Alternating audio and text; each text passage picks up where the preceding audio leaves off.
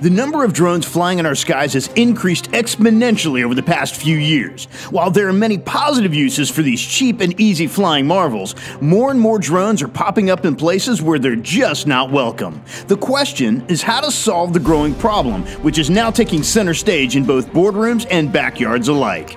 Various systems are now being developed to stop intrusive drones. After all, just grabbing your shotgun and shooting one down isn't generally safe or legal. As an alternative, here are four ways to take down rogue drones.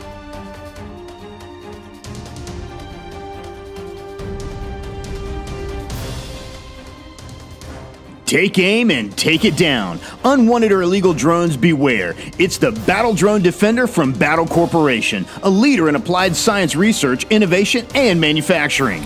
Looking like an exotic space rifle straight out of Flash Gordon or the Buck Rogers sci fi films, this baby means business. When a rogue drone appears, the user can simply aim and fire a concentrated cone of energy that disrupts the drone's remote control signal and GPS reception, thus bringing down the drone.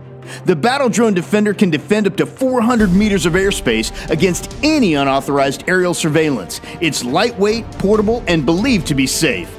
This ingenious piece of electronics may soon become far more widely used. However, the public isn't invited. Until approved for public and regular law enforcement use, it's currently only authorized to be used by specific U.S. government agencies. For more information, just visit battelle.org. With drones becoming increasingly more involved in close calls with aircraft, unauthorized flights over military installations, and unwanted surveillance, the need for anti drone systems is absolute. One promising invention is the Skywall 100 drone defense system from English startup company OpenWorks Engineering. When a rogue drone shows up saying, uh, Catch me if you can, Skywall, a 22 pound shoulder mounted net cannon, can actually do just that. Skywall uses advanced computer aided visual targeting system that can track and bring down the moving drone from up to 100 yards away. When the system locks on, Skywall fires a capsule containing a huge net and a parachute. Once the drone is captured in the net, the parachute brings the drone down safely and intact. In case of a miss or multiple drones, Skywall can be reloaded and fired in as little as 8 seconds. As of now, OpenWorks is yet to announce the price or release date of Skywall, but you can bet there will be plenty of interest. Find out more at openworksengineering.com.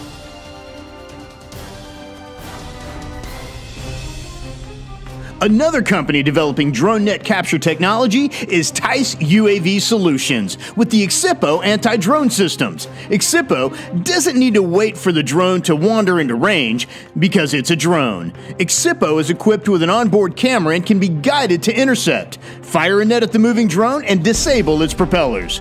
The net can be fired freely, causing the rogue drone to drop to the earth like a stone. Or the net can also remain tethered to the Excipio, allowing it to carry its opponent back to base for examination.